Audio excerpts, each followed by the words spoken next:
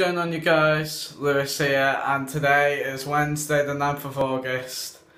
We already know it's 2017, I don't need to say it a thousand times, alright? Um, so, yeah, um, I'm making this vlog to say I'm back, you know? Um, I'm sorry I've been off a while, I've just been, I don't know, I haven't really been myself. But me and Neil, we're okay now, but sadly he's not coming back to YouTube. But anyway, another story for another time. Um, I am finally back on YouTube. From this time forward, I promise you guys, swear down on my life, I'm going to be making vlogs every single day. I'll see you guys tomorrow, 2.30pm. See you later. Peace. I'm going to be making a vlog at half two tomorrow afternoon. Alright? See you later. Peace.